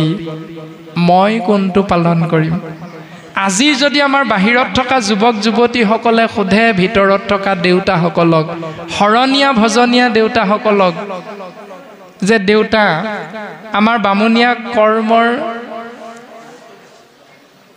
ব্যৱস্থাত পিতৃ মাতৃ পৰলোকগামী হ'লে মুণ্ডন কৰে দান দক্ষিণা দিয়ে ভাগৱতী সমাজৰ বাপসকলে দেখোন এইটো নকৰে। কিন্তু তেওঁলোকেও শংকৰদেৱে লিখা কীৰ্তন ভাগিকে পঢ়ে। তেওঁলোকেও মাধৱদেৱে লিখা নামঘোষা ভাগিকে পঢ়ে। আমাৰো নামঘোষাকে আশ্ৰয় কৰে। একে গোপাল গোবিন্দ যদুনন্দন নামেই আশ্ৰয় কৰে। তেওঁলোকৰ নিয়মবিলাক বেলেগ আমাৰবিলাক বেলেগ। কেলে হৈছেনো দেউতা? উত্তৰ কোনোবাই শুদ্ধভাৱে আমি দিব পাৰিমনে? তল মূৰ কৰিব লগা হয়। এইটো নীতি নিয়মৰ খেলি মেলি আজিও সাম্প্ৰতিক সময়ত দুহেজাৰ চৌবিছ বৰ্ষতো এইটোৱে হৈ আছে। কোনে উত্তৰ দিব এতিয়া? মেকুৰী ডিঙিত টিলিঙা কোনে আনি আঁৰিবলৈ যাব এতিয়া? আপুনি মই চিন্তা কৰাটো অতিব প্ৰয়োজন কিন্তু এই সকলোখিনিৰ বিষয়ে শাস্ত্ৰই কি কৈছে? শুদ্ধভাৱে সমস্তকে অৰ্পিলে কৃষ্ণত। তাকে সেবুলয় মহাধৰ্ম ভাগৱত। এতিয়া এই সকলোবিলাকক শুদ্ধভাৱে কৃষ্ণত অৰ্পণ কৰা। যদি আমি কিবা এটা কৰি ধন উপাৰ্জন কৰিছোঁ তাত যদি অন্যায় জড়িত হৈ আছে তেতিয়াহ'লে ই কেতিয়াও ভাগৱত ধৰ্ম নহয়। শুদ্ধ পথেৰে সৎ পথেৰে উপাৰ্জন কৰি সৎ পাত্ৰত অৰ্পণ কৰাটো ভাগৱত ধৰ্ম। অসৎ পথেৰে আনি সৎ পাত্ৰত দিয়াটো কিন্তু ভাগৱত ধৰ্ম বুলি নাই কোৱা। সৎ পথেৰে সৎ পাত্ৰত অৰ্থাৎ শুদ্ধভাৱে কৃষ্ণত অৰ্পণ কৰিবলৈ আমাক শাস্ত্ৰই সিদ্ধান্ত দিছে। যিহেতু আমি সমস্ত জনা গৃহস্থী ধৰ্মৰ মাজত আছোঁ সেইকাৰণে আমাক সিদ্ধান্ত দিছে এৰাম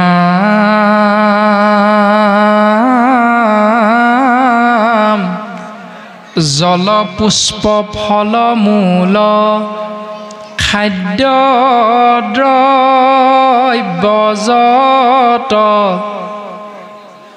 দ্ৰব্যজত জলপুষ্প ফল মূল খাদ্য দ্ৰব্যজত অন্ন আদি কৰি সবে অৰ্পিব কৃষ্ণত। তেবে গৃহ ধৰ্মে দুখে হিংসা ন পাৱয় কৃষ্ণে একনিষ্ঠ শুয়া মুকুতি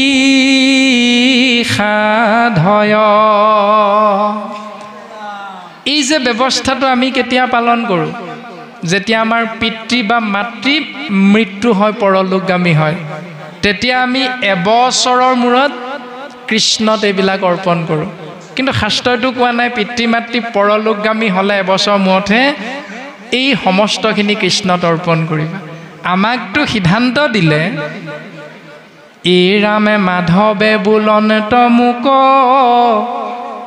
কৃষ্ণ কৃষ্ণ কৃষ্ণ বুলি সদায় সোমৰে যিটো জন। জলহন্তে যেন পদে মনৰ কৰ পৰাতাংক আপুনি উধাৰো ৰংগ মনে মাধৱে বুলন্ত মোক কৃষ্ণ কৃষ্ণ কৃষ্ণ বুলি এদিন আশ্ৰয় কৰে এই বুলি নাই কোৱা। সদায়ে যিটো হোমৰে বুলি কৈছে যিজনে সৰ্বদায়ে কেৱল কৃষ্ণ নাম আশ্ৰয় কৰি থাকে সেইজনক নৰকৰ পৰা আনন্দ মনেৰে ভগৱন্ত পুৰুষে উদ্ধাৰ কৰে। কিন্তু আপুনি মই ভাগৱত ধৰ্ম আশ্ৰয় কৰিবলৈ গৈ পিতৃ মাতৃ পৰলোকগামী হোৱা হেতুকে ছমাহৰ মূৰত ছমহীয়া বছৰেকৰ মূৰত বছৰেকীয়া বছৰে বছৰে এই কৰ্মটো কৰি থাকোঁ। তাকো শাস্ত্ৰসন্মতে শুদ্ধ ৰূপত নহয়। জীয়াই থাকোঁতে যিজন পিতৃ যিগৰাকী মাতৃয়ে দিনে তিনি সাঁজ খালেহে পেটটো ভৰে। মৰাৰ পাছত সেইজন পিতৃৰ বাবে এবছৰ মূৰত এসাঁজ দিওঁ। ভাল পাবনে দেউতাই আপোনাক মোক? কেতিয়াও নাপায়। চিন্তা আপোনাৰ মোৰ নিজৰ নিজৰ প্ৰত্যেক দিনাই কৃষ্ণৰ চৰণত অৰ্পণ কৰিলে পুৱা গধূলি পিতৃ সন্তুষ্ট হয় বুলি কৈছে। ঋষভ পৃথু অৱতাৰত ভগৱন্ত পুৰুষে প্ৰকাশ কৰিছে এই ৰাম পুত্ৰ ভৈলে পিণ্ড দিব লাগয় বাপৰ। মূৰ পিণ্ড হুৱে জানা ভজিলে ঈশ্বৰ। পুত্ৰ হ'লে পিতৃ মাতৃৰ অৰ্থে পৰলোকগামী হ'লে পিণ্ড দিব লাগে এইটো শাস্ত্ৰই হয় বুলি কৈছে নহয় বুলি নাই কোৱা।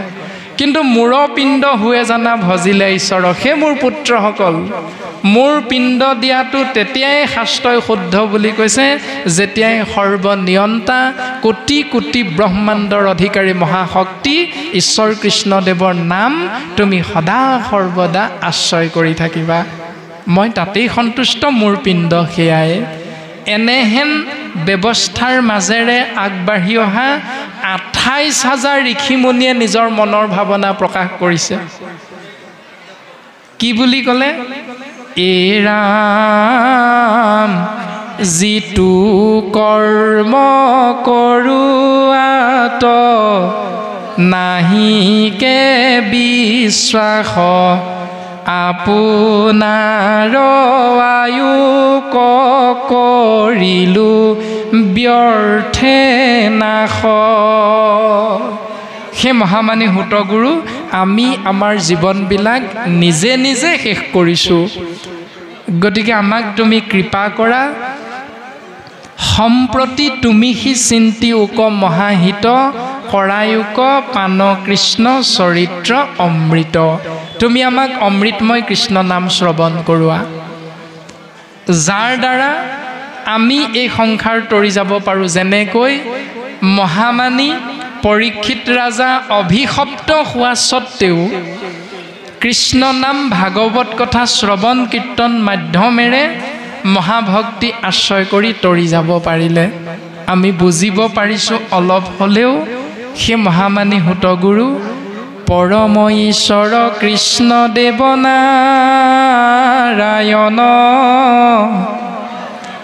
তান মহাভক্তি ইটো শ্ৰৱণ কীৰ্তন। পৰম ঈশ্বৰ কৃষ্ণদেৱ নাৰায়ণ জীৱৰ প্ৰতি কৃপা কৰিবৰ বাবে তেতিয়াহে ইচ্ছা প্ৰকাশ কৰে যেতিয়া তেওঁৰ নিৰ্গুণ নাম জীৱই শ্ৰৱণ, কীৰ্তন, মহাভক্তি আশ্ৰয় কৰে। কীৰ্তন গ্ৰন্থত গুৰুজন বস্তুৱে উল্লেখ কৰিছে, তীৰ্থ বুলি কৰে জলত শুদ্ধি, প্ৰতিমাত কৰে দেৱতা বুদ্ধি, বৈষ্ণৱত নাই ক্ষভমতি, গৰুটো অধম কৃষ্ণ বদতি। আপোনাসবে জানে সমাজ ব্যৱস্থাত আমি বিভিন্ন ধৰ্মৰ কৰ্মৰ মাজত সকলো সোমাই সোমাই আছোঁ। তীৰ্থ বুলি কৰে জলত শুদ্ধি অৰ্থাৎ পিতৃ মাতৃ পৰলোকগামী হোৱাৰ লগে লগে দ্বিতীয়তে আমাৰ গৃহত বংশত এটি নৱজাতকৰ জন্ম হোৱাৰ লগে লগে কোনোবা এজন প্ৰভু ঈশ্বৰৰ ওচৰলৈ গৈ বা কোনোবা এজন ভকতৰ ওচৰলৈ গৈ শান্তি আনি অকণমান পানী শান্তি জল আনি সেই ব্যক্তিসকল সচি হোৱাৰ এটা নিয়ম আছে। এই নিয়মটো শাস্ত্ৰই আমাক শুদ্ধ বুলি কৈছেনে নাই কোৱা এইটো আমি কোনোদিন বিচাৰ নকৰোঁ। কেৱল গতানুগতিক চলি আহিছে কৰিব লাগে কৰি আছোঁ। তীৰ্থ বুলি কৰে জলত শুদ্ধি।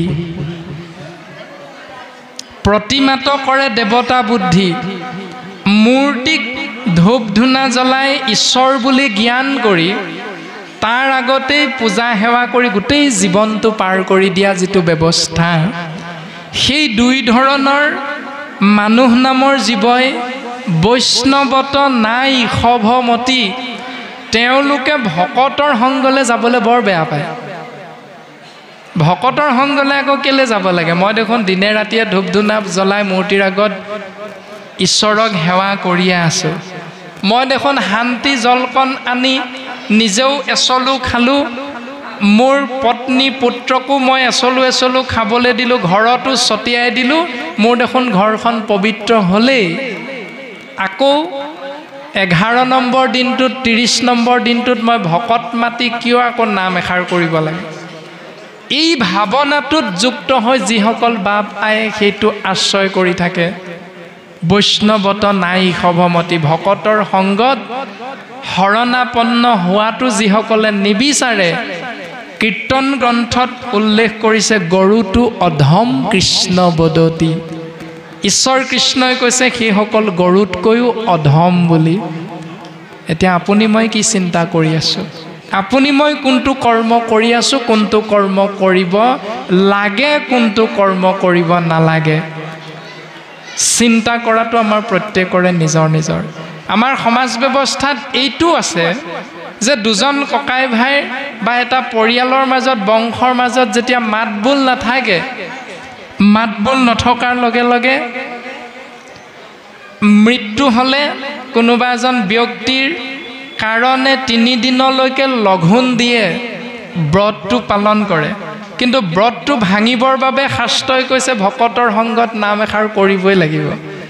সেইটো নকৰি শান্তি অকণ জল খালে তাৰপাছত তেওঁ সুচী হৈ গ'ল। এইটো ব্যৱস্থা কোনো শাস্ত্ৰই আমাক নাই দিয়া। চিন্তা আমাৰ প্ৰত্যেকৰে নিজৰ নিজৰ নামতহে কেৱল জীৱৰ কল্যাণ হ'ব। জীৱই কেৱল নামৰ মাধ্যমেৰেহে এই সংসাৰৰ পৰা শুদ্ধ হ'ব পাৰিব উদ্ধাৰ পাব পাৰিব। এইটো ধ্ৰুৱ সত্য শাস্ত্ৰই আমাক সিদ্ধান্ত দিছে। গতিকে নাম আশ্ৰয় নকৰি বাকী যিমান পন্থই আমি আশ্ৰয় নকৰোঁ কিয় জীৱৰ কেতিয়াও কল্যাণ সাধন নহয় নহয় নহয়। প্ৰমাণ আমি সকলোৱে জানো। আৰু এটা নিয়ম আছে যেতিয়া এটি নৱজাতকৰ আগমন হয় শাস্ত্ৰই কৈছে স্নান মাত্ৰে পিতৃ শুদ্ধ হয় পৰিয়ালত কোনো চোৱা নাথাকে। তাৰ পাছতো সেই মাতৃগৰাকী যদি মেডিকেলতে সাত দিন বা দহ দিন থাকি সম্পূৰ্ণ ভাল হৈ আহে সেই ঘৰখনৰ পিতৃ মাতৃ শহুৰ শাহুৰে যদি মেডিকেলত গৈ চাবলৈ এদিনো যোৱা নাই তেতিয়াহ'লে সেই শহুৰ শাহুৰেও গাঁৱত হৈ থকা ঈশ্বৰ কৃষ্ণদেৱ প্ৰভু ভগৱন্তৰ নামত তেওঁ বৰতাল বজাৰ নাম প্ৰসংগ কৰিব পাৰিব। ইমান সুন্দৰ ব্যৱস্থা শাস্ত্ৰই দিছে। কিন্তু মানুহ আমি ঠিকেই নাইটো যেতিয়া সৰিব তেতিয়াহে আমাৰ চোৱাটো ভাগে। অঁ নাইটো সৰিলেই যদি চোৱাটো ভাগে নামৰ কি কাম তেতিয়াহ'লে? নামটো কোনো প্ৰয়োজন নাই আপুনি মই আশ্ৰয় কৰিবলৈ। তেতিয়া নাই হোৱালৈকে বাট চাই থাকে নাই সৰাৰ লগে লগে কোনো শান্তিয়নী পানী খোৱাৰো একো নজি নাই। ভকতক মাতি নাম এষাৰ কৰাৰো কোনো নজি নাই। বংশ পৰিয়ালে সেইদিনা শুদ্ধি কৰ্মৰ দিনা এমাহত আহি ভকতৰ সংগত মূৰটো দোৱাৰো নিয়ম নাই। তেতিয়াহ'লে তেওঁলোক শুদ্ধ কেনেকৈ হ'ল? এইটো চিন্তা কৰাটো আমাৰ প্ৰত্যেকৰে নিয়ম। প্ৰত্যেকৰে কৰ্তব্য। তাৰমানে আমি কৰি থকা কৰ্মবিলাক আমি নিজেই বিশ্লেষণ কৰিব লাগিব শাস্ত্ৰ আশ্ৰয় কৰিহে। শাস্ত্ৰই আমাক এনেধৰণে সিদ্ধান্ত দিছে পৰম ঈশ্বৰ কৃষ্ণ দেৱ নাৰায়ণ তান মহাভক্তি ইটো শ্ৰৱণ কীৰ্তন। তেওঁৰ কৃপা পাবলৈ হ'লে সেই জীৱ কেৱল তেওঁৰ নিৰ্গুণ নাম শ্ৰৱণ কীৰ্তন মহাভক্তি আশ্ৰয় কৰা। প্ৰমাণটো আমাক দিলে জন্ম হোৱা মাত্ৰকে এটি জীৱই পাঁচটা ধাৰ লাগি আহে। সি ব্ৰাহ্মণ কুলৰ হওক ক্ষত্ৰিয় বৈশ্য শূদ্ৰ যি বৰ্ণৰে নহওক জন্ম যায়তে শূদ্ৰ জন্ম হোৱাৰ লগে লগে এটি জীৱ অজ্ঞানী বুলি কৈছে। সংস্কাৰতে দ্বিজ বেদ পাঠাত ভৱতে বিপ্ৰ ব্ৰহ্মক জানন্তি চ ব্ৰাহ্মণ। সিদ্ধান্ত দিলে ব্ৰাহ্মণ কোনজন? ব্ৰহ্মক যিজনে জানিবলৈ চিন্তা কৰে বা সৰ্বসন্মতিক্ৰমে যিজনে জানিছে বুলি সিদ্ধান্ত হয় সেইজনক ব্ৰাহ্মণ বুলি কোৱা হৈছে। জন্ম যায়তে শূদ্ৰ জন্ম হোৱাৰ লগে লগে এটি জীৱ অজ্ঞানী তেওঁ উপাধি গোস্বামী হওক তেওঁ উপাধি মহন্ত হওক তেওঁ উপাধি গগৈ হওক তেওঁ উপাধি শৰ্মা দেৱী দত্ত কলিতা যিয়ে নহওক। সেই জন্ম হোৱা জীৱ জন্ম যায়তে শূদ্ৰ অৰ্থাৎ অজ্ঞানী। কৃষ্ণ। দ্বিতীয়তে আমাক সিদ্ধান্ত দিছে এনেধৰণে যে পাঁচটা ধাৰ লাগি আহে। সেই পাঁচটা ধাৰ কি কি? এ ৰামদেৱ ঋষি ভূত পিতৃ। কুটুম্ব জনৰ উপজিলে তা সম্বাৰ ঋণী হুৱে নৰ।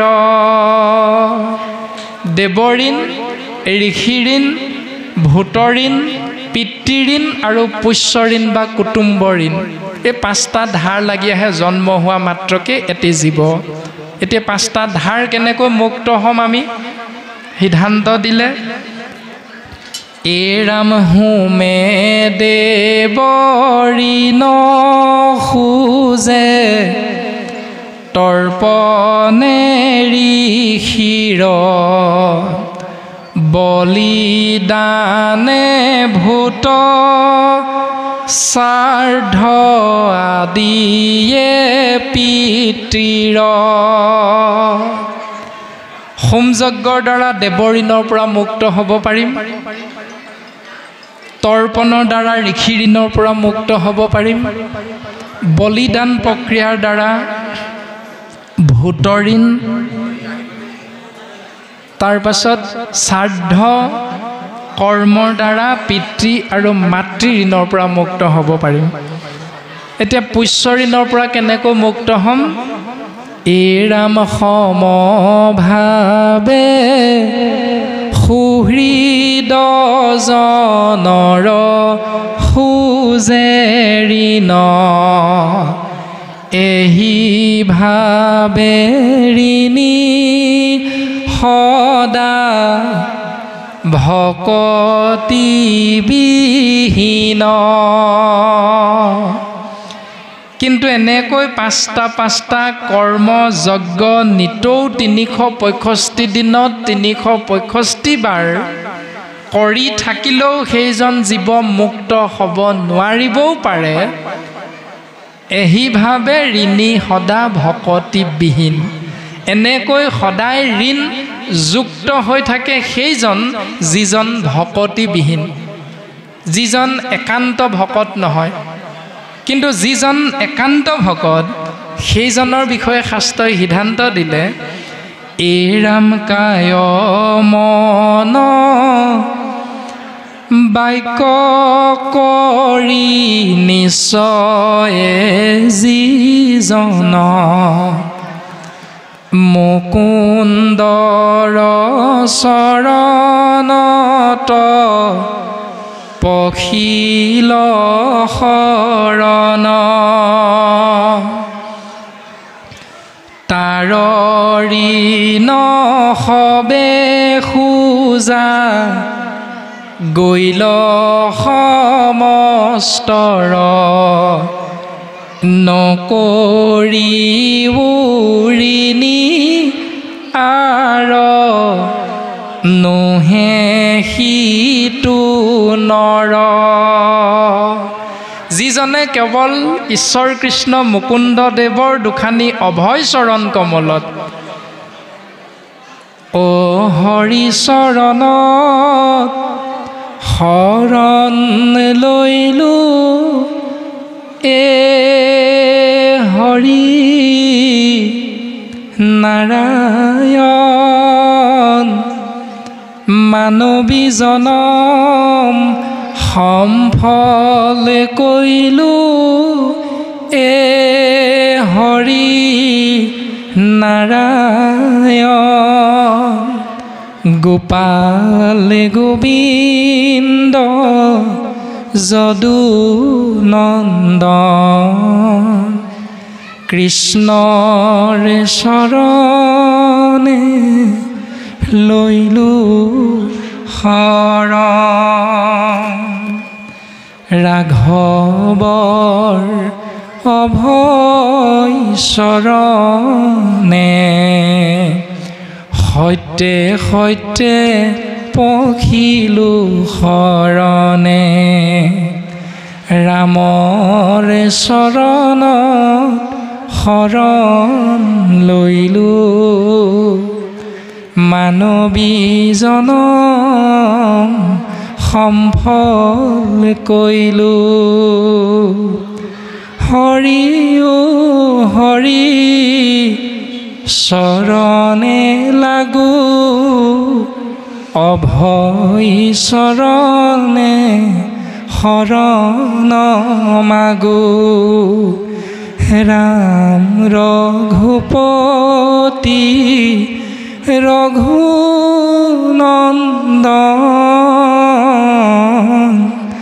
তোমাৰ চৰণে লৈলো শৰণ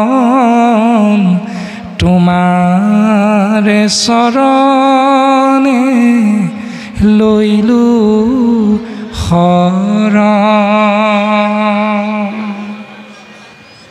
গুৰুজনে আমাক এই সিদ্ধান্ত দিছে যে এনেধৰণে আমি যেতিয়াই জীৱই এক ঈশ্বৰৰ চৰণ কমলত কাই বাক্য মঞ্চিত সুদৃঢ় বিশ্বাসে শৰণ গ্ৰহণ কৰিম। সেইজনে পাঁচটা পাঁচটা ধাৰৰ পৰা মুক্ত হ'বলৈ পাঁচটা পাঁচটা যজ্ঞ কৰ্ম নকৰিলেও সুন্দৰভাৱে ঋণ মুক্ত হৈ যাব পাৰে। এতিয়া কোনটো কৰিম? চিন্তা আমাৰ প্ৰত্যেকৰে নিজৰ নিজৰ। শাস্ত্ৰই কাকো বাধ্য কৰোৱা নাই। আমি সমস্তজনাৰে চৰণ কমলত। পুনশ্চবাৰ সময়ৰ প্ৰতি লক্ষ্য ৰাখি ভক্তিৰ সেৱা নিবেদন কৰা হৈছে। যে আমি মহামূৰ্হমতীয়ে আপোনাসৱৰ আজ্ঞা শিৰোগত কৰি অমৃতময় কৃষ্ণ নাম মহাবস্তু ভাগৱত কথা প্ৰকাশ কৰিবলৈ যাওঁতে কাই বাক্য মন অহমম্মভাৱে যি অপৰাধ ৰৈ গ'ল শত সহস্ৰ কোটি অপৰাধ আপোনাসৱ মহামহন্তে আমাক ক্ষমা দিব। পুনশ্চ সমস্তজনাৰে চৰণ কমলত সেৱা নিবেদন কৰা হৈছে। সমস্ত জীৱৰ কল্যাণৰ অৰ্থে ভগৱন্ত পুৰুষৰ দুখানি অভয় চৰণ কমলত সেৱা নিবেদন কৰি আজিৰ এই মহান অনুষ্ঠানভাগীৰ মহান দায়িত্ব আমি মহামূৰ্হমতীয়ে ইমানতে বিৰাম দিয়া হৈছে কৃষ্ণ।